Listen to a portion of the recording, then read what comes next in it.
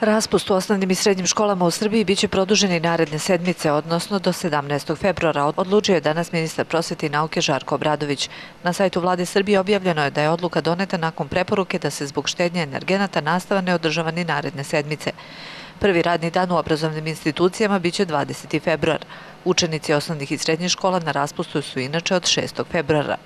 Situacija je takva kakva je, znači e, raspust je vanredni, đaci se uvek obraduju raspustu bez obzira da li je vanredni ili redovni, U svakom slučaju mi smo negde tek krenuli, znači drugo polugodište imam utisak da smo onako e, dobili neki e, motor da radimo, da se pokrećemo i onda je eto ove vanredna situacija, tako da je prekinuto školovanje, ali u svakom slučaju učenici bi trebalo da znači negde bar svakodnevno sa dva posvete učenju da bi se nastavio taj kontinuitet u radu.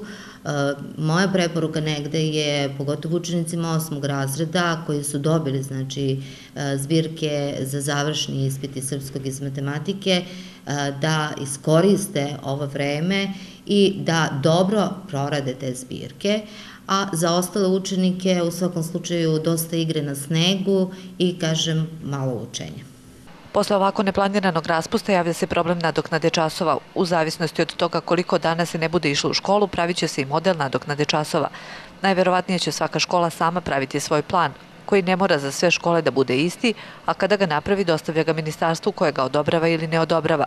Mogući su različiti modeli od produžetka školske godine preko određivanja radnih subota, predčasa ili više časova u toku dana. Očekujemo sigurno da ćemo dobiti od školske uprave informaciju, ne zna se da li će biti sažimanje gradiva, da li će biti produžena školska godina, da li će biti možda skraćen e, taj prolećni raspust, znači ima nekoliko varijanti, ali u svakom slučaju dok ne dobijemo zvaničnu informaciju i dok ne dobijemo zvanično pustvo, ni mi sami ne znamo kako ćemo nadoknaditi ove časove.